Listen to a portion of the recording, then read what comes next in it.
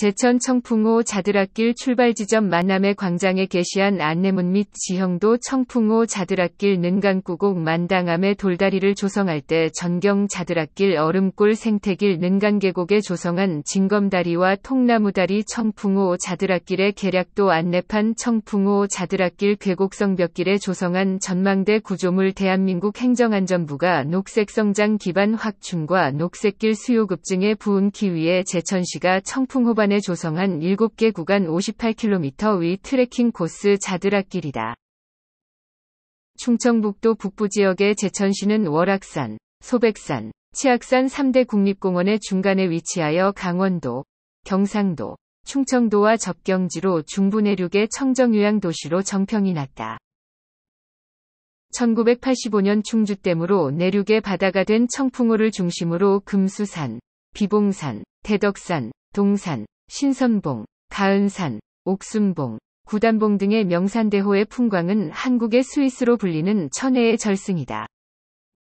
충주댐으로 충주시, 제천시, 단양군이 수몰 지역의 내륙의 바다가 백길 백리 가운데 가장 풍광이 수려한 청풍호의 청풍호반의 수려한 풍광을 따라 걷는 자드락길을 조성하게 되었다.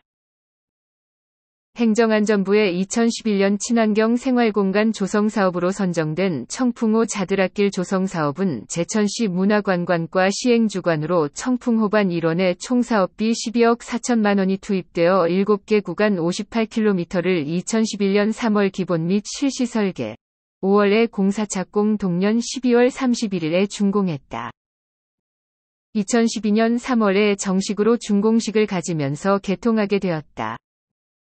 자드락길 트레킹 코스의 대상지는 200m에서 400m 이상이 34.7%를 차지하며 평균 표고는 324.0m로 분석되었다.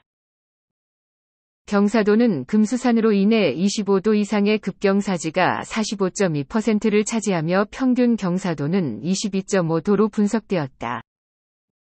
생태자연도는 1, 2, 3등급이 고루 분포하며 상천리의 경우 월악산 국립공원에 의한 별도 관리 지역으로 구분되어 있다.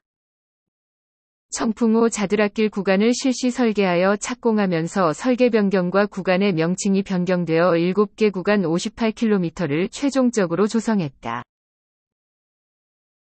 1. 작은 동산길 19.7km 청풍면 교리 물결표 하현리 물결표 도아리 이정방사길 1.6km 수산면 능강리 3 얼음골 생태길 5.4km, 수산면 능강리 4 녹색마을길 7.3km, 수산면 능강리 물결표 하천리 물결표 상천리 5 옥순봉길 5.2km, 수산면 상천리 육계곡 성벽길 9.9km, 수산면 괴곡리 물결표 지곡리 7약초길 8.9km, 수산면 지곡리 물결표 도전리 물결표 서곡리 물결표 율지리 제천 청풍호 자드락길은 청풍호반의 생태탐방 자원인 자연문화관광의 가치를 제고하여 문화관광 자원화할 수 있게 되었다. 시청해주셔서 감사합니다.